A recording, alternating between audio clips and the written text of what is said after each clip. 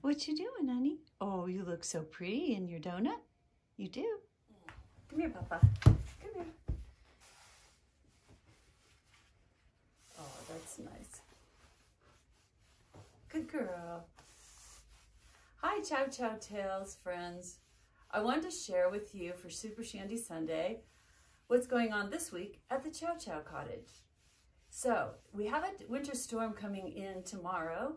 So today I'm going to do some preparation. It may not be as bad as I think it is, but just want to be prepared in case. So I need to put my chains in the in the truck.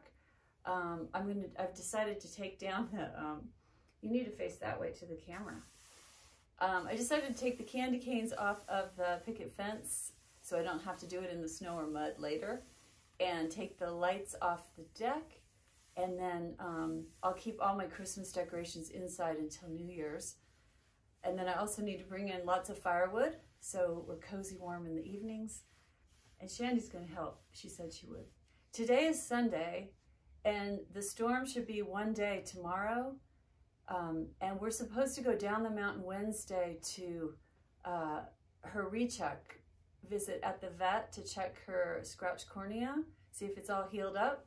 So it's really going to depend on the road. So I'm going to have to pay attention to the road conditions and uh, I'll make that decision Tuesday, the day before, if I'm going to be able to take her down the mountain or not, and, or if I need to reschedule that.